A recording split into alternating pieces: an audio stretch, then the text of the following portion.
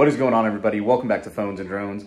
As you can see, we're not in our traditional studio, so a little bit of a different video for you guys today, but I did want to let you guys know iOS 17 Beta 2 is now out. Comes a little over two weeks after Beta 1 came out, and we're hoping for a ton of improvements here.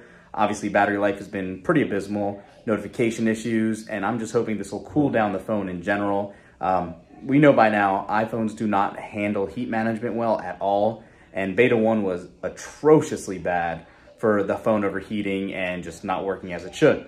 So having said that, let's go ahead and take a look at the build quality, the build number here, and see if we see any new features. I'm not expecting too much, just really hoping for more stability improvements. Let's go. All right, so as you guys can see, iOS 17 Beta 2 has finished installing, and I can tell you right off the bat, everything is a lot more responsive. It's filling out, the keyboard's actually filling in as it needs to. I had an issue with that on iOS 17 Beta 1. But jumping right into it, going into settings, about, and version number, you can see Beta 2 has a new version number of 21A5268H.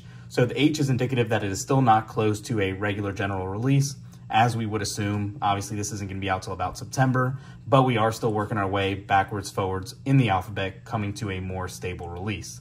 This should be the last beta until the public beta arrives with beta 3 next month, probably in another two, two and a half weeks or so. So stay tuned for that if you are in the developer program or if you just are subscribed to the public betas, that will be ready for you soon. So beyond that, if you actually jump in, you can see there is a new launch screen here for the betas themselves. It is a much nicer software interface than it was prior. You can obviously jump in as you did prior to see the developer information for what's new in each kit. And also that came out today was the first Vision OS uh, SDK unit. Beyond that, you can see the beta.apple.com link now as well. You can show you that the public betas for 17 are coming, etc., etc. What you don't see on this page anymore are the actual links to go directly into what is new in beta 2 to see what was fixed and what was not.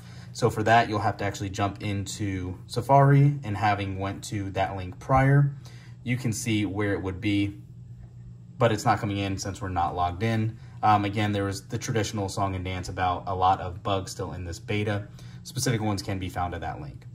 Beyond that, one huge improvement that we've seen already is battery life. It has not dropped at all since this beta has been installed. What we did have issues with with beta 1 was the phone getting super hot and not very easily uh, dispersing that heat. We know how bad, like I said, that iOS and iPhones in general just do not manage heat well. That was really on display in beta 1. Happy to say that on beta 2, we don't have those issues.